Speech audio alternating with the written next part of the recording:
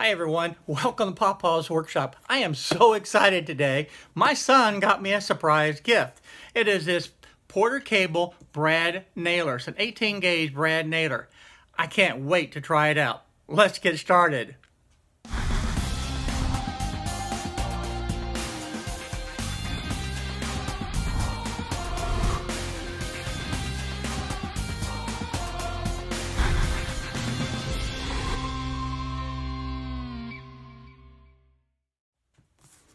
I took a look at one of the big box stores that carried this um, stapler in stock and it was $159.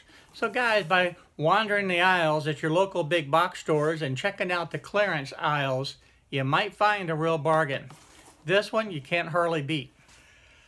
When I looked at the box, it says up here, the 20 volt max lithium Bayer 18 gauge narrow crown stapler. Now the interesting thing about it is this stapler comes with the stapler and that's it. There's no battery and there's no charger. But the good thing is I have a set of the Porter cable drill and impact driver with the 20 volt lithium battery. So I'm going to take that off. Yeah, I'm hoping it will fit.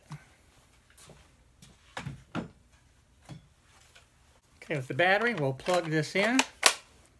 Hey, that fits perfect.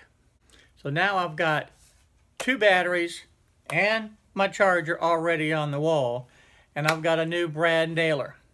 Let's see how it works. I actually like this gun a lot. Underneath here, I'm going to try to get the angle in the camera, you have a little switch that you can turn it on and it locks the trigger so it will not accidentally fire. Of course, you also have the safety here that prevents it from firing until that is actually pushed down. Over here, you've got a little knob that you can dial down to be able to show how deep your staple is going to go. And if you do get a jam in here, you have this little lever right here that will actually help release the uh, jam staple. And of course, if you have to, you can take off these two screws and gain access to this area. The other thing that I like is it says right here, no oil. So unlike all the other guns that I have that run with an air compressor, I got to put oil in it every day. With this one, I do not. I think this is going to be a really nice addition to the shop. I can get away from the cord and go cordless on the brad nailer.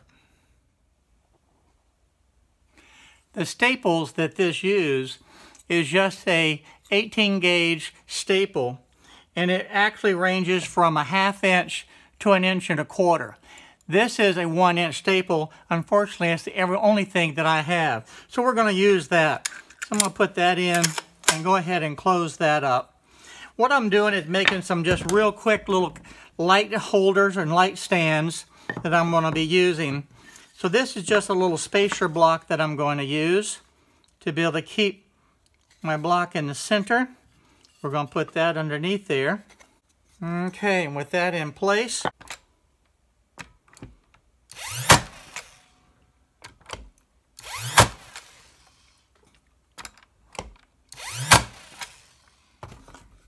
There we go.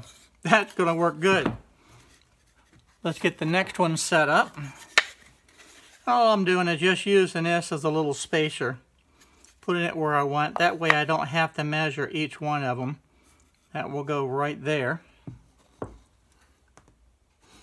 And I can get the spacer out of the way.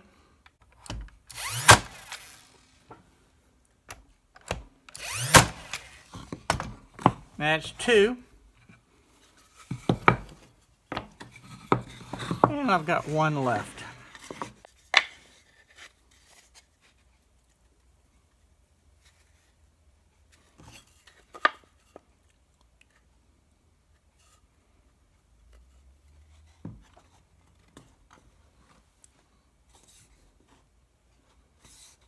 There we go.